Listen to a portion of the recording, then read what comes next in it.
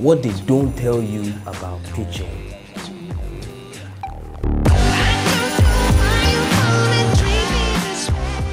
Kobe! This was the point where we sort of made our first mistake.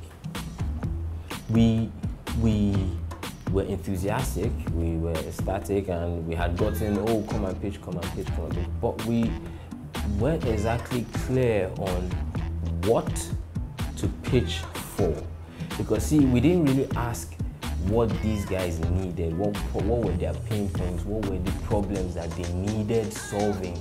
So, but like we were really excited. We wanted these people to buy into what we were, what we could offer them because we're young, we were young, vibrant, extremely creative guys. So we dove right in, started um, working on pitches, looking up their information online, and then creating a pitch deck, a wonderful pitch deck, if I might add, and um, create as in making animated work, as in going ahead to make animated work, and it was a grueling week of work, both research-wise and and um, create content creation-wise, and um, like I said, that was a mistake on our part because the first thing that happened as we finished surviving um, finished surviving,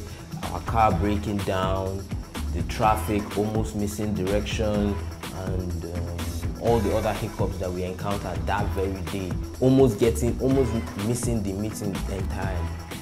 Not even fin- we didn't even finish the animation that we were working on. It was half baked and really, really frustrating. But after we finished going through all that, we went, you know, spirits high, pumped, got to the meeting, the guy, uh, the rep, the representative from another, a higher up representative from the team came in and, and the first thing he said was, you know, you guys, um, I was actually trying to get across to you. We could have actually had this conversation over Skype.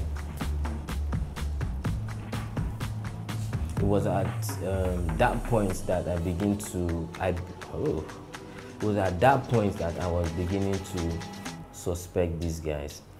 So, but he humored us, allowed us talk, allowed us pitch, pour out our hearts, show our effort, our sweat and blood. We spilled ourselves on the floor.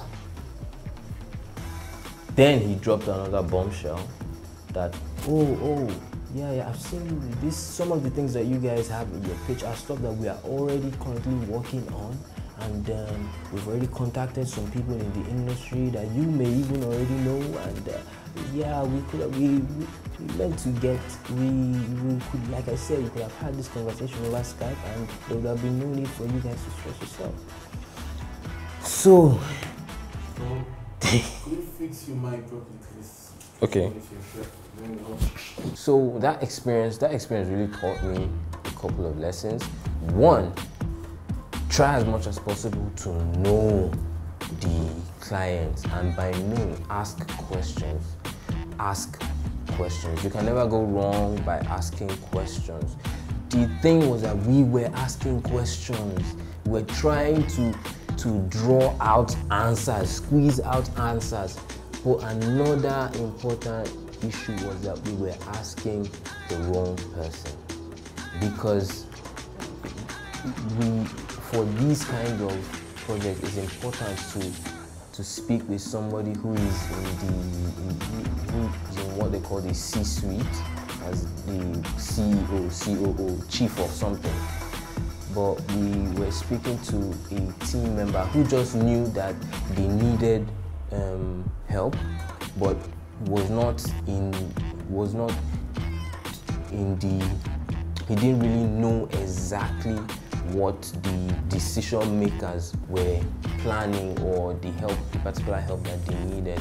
So we couldn't break or go beyond that guy to get the information that we needed. And that really hurt us at the end of the day. So the number one thing the number one thing that you need to do going into every pitch is get as much information as you can. Know the company, know the individuals within that company so that you don't end up pitching stuff that they are halfway into completion doing or stuff that they don't really need. If you do that, you end up being an expense, a liability, rather than a wise investment.